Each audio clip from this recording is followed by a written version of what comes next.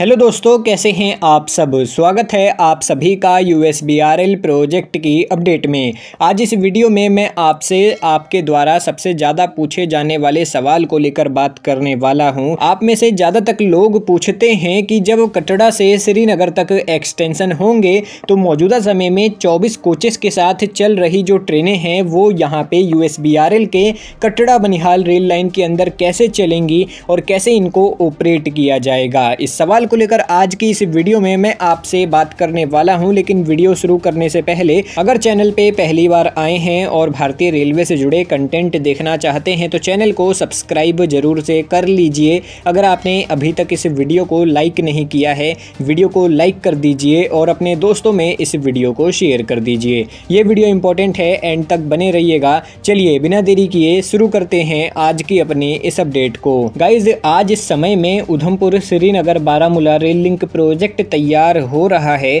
और दूसरी तरफ़ यहाँ पे ट्रेनों के एक्सटेंशन की बात चल रही है। ज़ाहिर सी बात है, ये सवाल सबके मन में एक ना एक बार आया होगा कि 24 डिब्बों के साथ चलने वाली मौजूदा समय की ट्रेनें क्या वाकई में इस कटड़ा बनिहाल रेल लाइन पर आ पाएँगी, जिन पे प्लेटफॉर्म्स इतने छोटे हैं? तो देखिए, मैं आपसे सिर्फ़ एक ही सवाल करता हूँ। बताइए, आज से पच्चीस साल पहले यूएसबीआरएल प्रोजेक्ट क्या था? ज़्यादा तक लोग यही बोलेंगे ना कि यू प्रोजेक्ट तो तब बना भी नहीं था। तो देखिए, मैं भी यही समझाना चाह रहा हूँ। फ़र्स्ट फ़ेज़ में आप कह सकते हैं, जम्मू से उधमपुर तक की लाइन बनाई गई और उसको खोला गया। फिर यहाँ पे आया Udhampur Srinagar Baramulla rail link project जिसमें उसके बाद आप कह सकते हैं कि बारामूला से बनिहाल तक का सेक्शन तैयार किया गया और साल 2009 में उसे खोला गया। और फिर उसके बाद साल 2014 में तकरीबन जो उधमपुर से कटड़ा तक का है ना, श्री माता वैष्णो देवी कटड़ा तक का सेक्शन उसे खोला गया।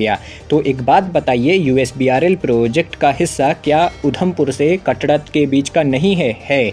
और क्या जब उसको बनाया गया था तो क्या ये चीज़ें सामने नहीं आई होंगी? छोटे छोटे स्टेशन आप कह रहे हैं कि पहाड़ों पर बनाए गए हैं, और इन पे चौबीस कोचेस की ट्रेनें कैसे पहुँचेंगी? क्या कटड़ा तक ट्रेनें नहीं जा रही हैं? एसवीडी के श्री माता वैष्णो देवी कटड़ा तक मौजूदा समय में ट्रेनें चल रही हैं, और इसी तरीके से भारतीय रेलवे आगे के स्टेशन भी बना रहा है। मानता हूँ, सभी स्टेशन उतने बड़े नहीं होने वाले हैं। लेकिन यहाँ पे बीच बीच में से कुछ ऐसे स्टेशन भी हैं, जिन पे भारतीय रेलवे ने काफ़ी अच्छा खासा, आप कह सकते हैं कि गैप दिया है। यानी मेरा कहने का मतलब ये है कि प्लेटफॉर्म्स की लंबाई बेशक ज़्यादा हो ना हो, लेकिन प्लेटफॉर्म्स के आउटर पे जो यहाँ पे लाइन बिछाई गई है ना, उससे आप कह सकते हैं कि ट्रेनों को लूप करने के लिए और साथ ही में ट्रेनें चलाने के लिए काफ़ी कुछ होने वाला है। उतनी दिक्कत नहीं होने वाली है जितना आप सोच रहे हैं। चौबीस कोचेस की ट्रेन चल सकती है और वो श्रीनगर श्रीनगर पहुँच भी सकती है। लेकिन अगर यहाँ पे 24 कोच की ट्रेन नहीं चलेगी तो एक और चीज़ यहाँ पे हो सकती है। भारतीय रेलवे रिसेंटली यहाँ पे वंदे भारत ट्रेन को लेकर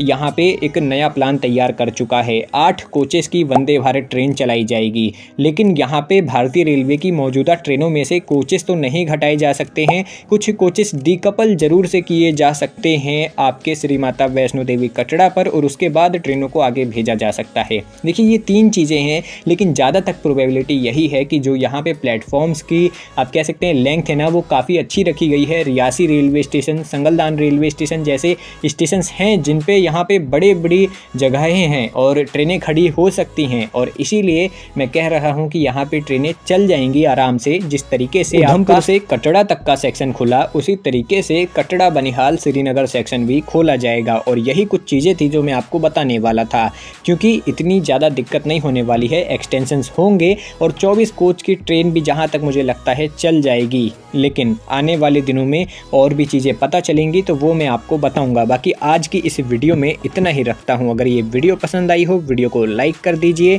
चैनल को सब्सक्राइब कर लीजिए, ताकि आने वाली अपडेट्स आप देख सकें और अपने दोस्तों में इस वीडियो को शेयर कर दीजिएगा। उम्मीद करता हूँ ये वीडियो आप लोगों को पसंद आई होगी। कैसी लगी ये वीडियो कमेंट करके ज़रूर से बताइएगा। बाकी मैं मिलता हूँ आपसे बहुत जल्द किसी और नई अपडेट के साथ। आज की वीडियो में इतना ही रखता हूँ। जब तक के लिए रखिएगा आप लोग अपना ख्याल। Hope to see you again bye bye guys